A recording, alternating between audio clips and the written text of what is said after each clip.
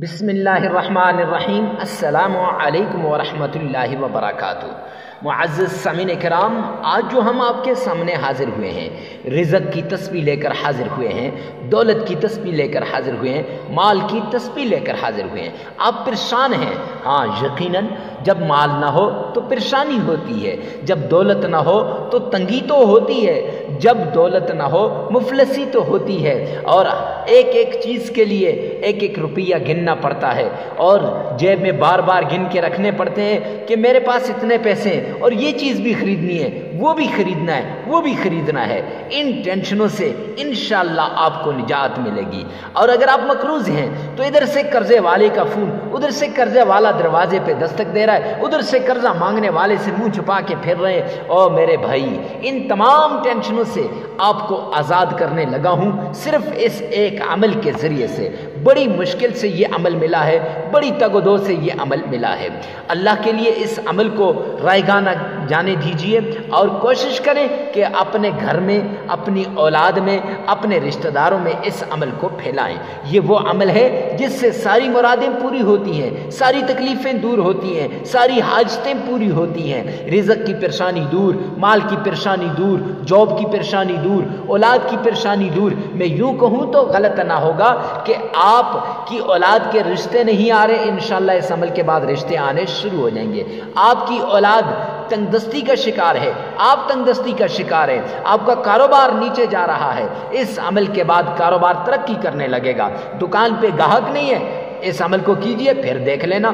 اور اگر بیماری ہے، کوئی ایسی بیماری، لا علاج بیماری، اس عمل کو کیجیے۔ دیکھ لینا کہ انشاءاللہ میرا اللہ کیسے آپ کو شفا عطا کرتا ہے۔ لیکن یاد رکھنا ایک بات کو، کہ وہ بات یہ ہے کہ صدقے دل سے، پورے یقین کے ساتھ، پورے بھروسے کے ساتھ، پورے اعتماد کے ساتھ آپ عمل کریں گے۔ رب کعبہ کی قسم کہ یہ عمل ایسے اثر کرے گا جیسے تیر کمان سے نکلا اور فوراً اپنے ٹارگٹ پہ جا کے لگ گیا۔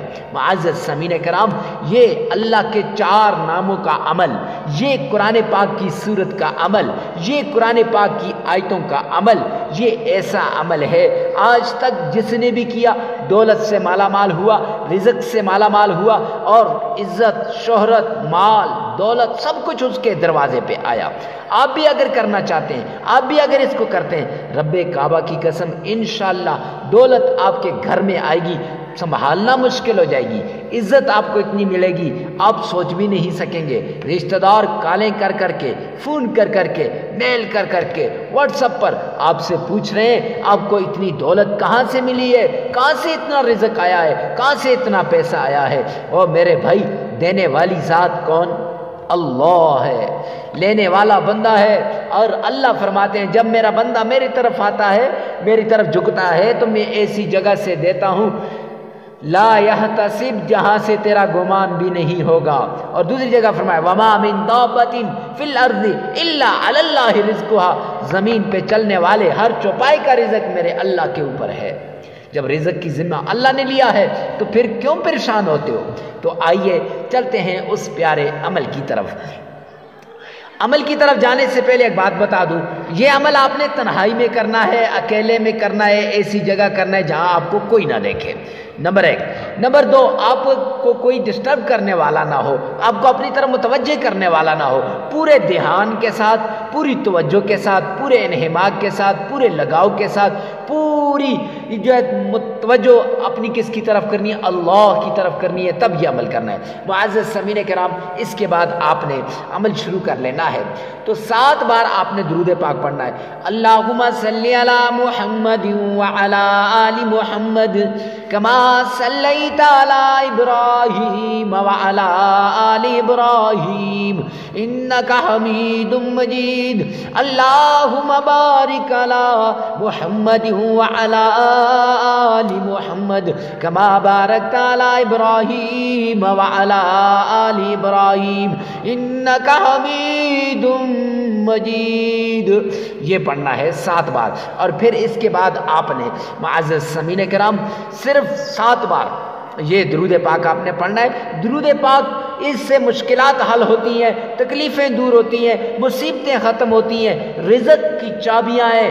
اللہ کے غیبی خزانے جو ہیں نا، ان کے آگے جو تالے لگے ہیں نا، ان تالوں کی یہ چابیاں ہیں، چابیاں۔ اور یہ چابیاں ان تالوں کو ایسے کھولتی ہیں۔ یہ دندانے چابی میں نظر آ رہے ہیں نا۔ یہ یہ دندانے ان تالوں کی، اللہ کے غیبی خزانے کے تالوں کی۔ اور یہ چابیاں، جیسے یہ چابی اس تالے کو کھول رہی ہے، ایسے ہی یہ چابیاں اللہ کے تا جو ہے غیبی خزانوں کے تالوں کو کھولنے والی ہیں۔ تو معزز سمین کرام، سات بار درود پاک پڑھیں۔ اور پھر اس کے بعد آپ نے سات بار جو ہے تعوض پڑھنا ہے۔ اعوذ باللہ من الشیطان الرجیم۔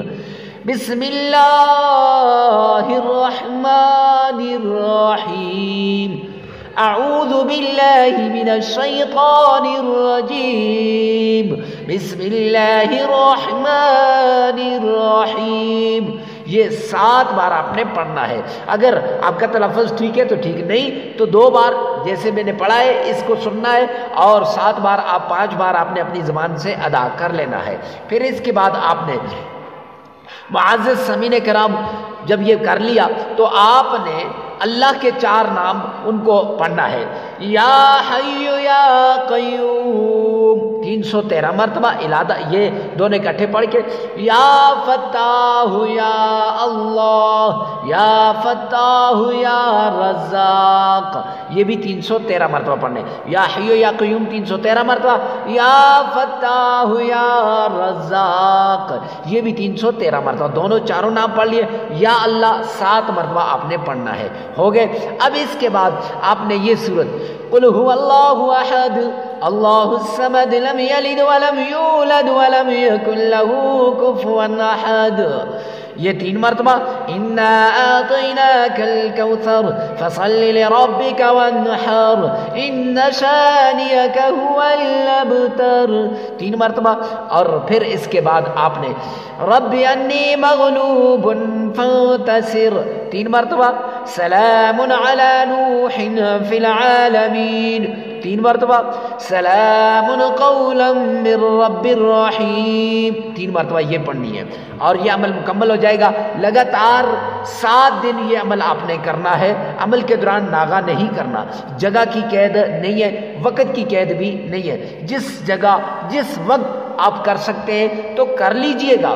معزز سمین کرام، وقت اور جگہ کی کوئی ٹینشن نہیں ہے۔ لیکن یاد رکھیں، اگر ناغا ہو جائے، تو نئے سرے سے دوبارہ کرنا پڑے گا۔ چاہے ساتھ چھٹے دن ناغا کیوں نہ ہو، نئے سرے سے دوبارہ کرنا پڑے گا۔ اور یہ بھی یاد رکھیں کہ ویڈیو کو ثواب کی نیت سے، صدقہ جاریہ سمجھ کر آگے شیئر کرنا مت بھولیے گا۔ ہو سکتا ہے آپ کی ایک شیئر سے کسی کی زندگی تبدیل ہو جائے اور کسی کی حالات اچھے ہو جائیں۔ میری اور آپ کی دنیا اور آخرت بن جائے۔ گی